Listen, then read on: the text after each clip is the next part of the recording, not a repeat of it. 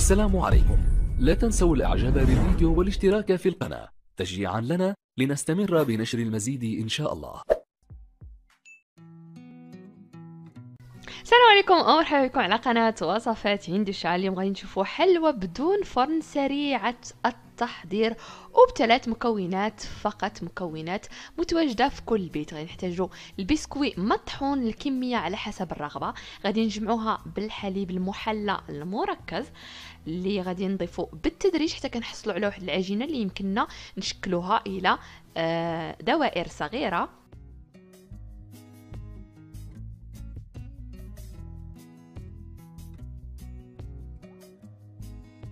وما يبقى لكم غير تشكلوها على شكل دوائر وكتوضعوها مباشرة على الكوك المبشور أو آه، جوز الهند المبشور.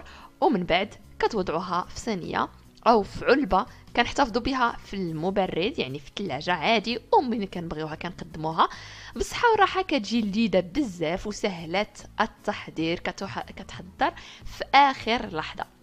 نتمنى الوصفة ديال اليوم تكون نالت اعجابكم ما تنساوش نوصلوها ل 2000 لايك وأيضا الاشتراك في القناة بضغط على الزر الأحمر الموجود تحت الفيديو. وأنا نقول لكم بصحه وراحة ونهاركم مبروك.